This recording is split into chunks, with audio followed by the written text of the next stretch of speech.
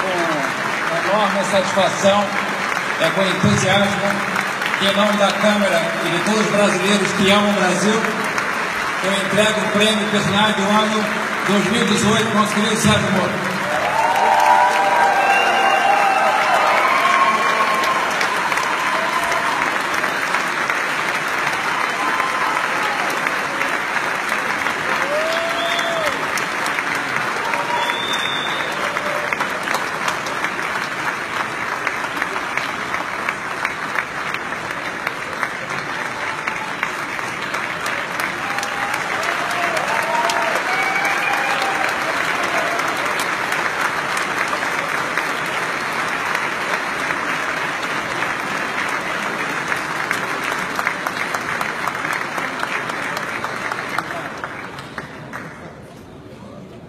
Obrigado a todos, uma boa noite, até o ano que vem.